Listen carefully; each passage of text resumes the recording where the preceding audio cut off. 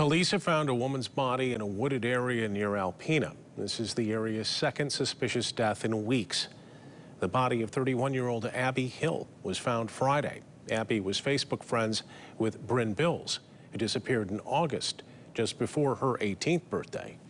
Bills was buried in a home in Alpena when it was found last month. Two men are in jail in an unrelated case. One of those men owned the property where Bills' body was found.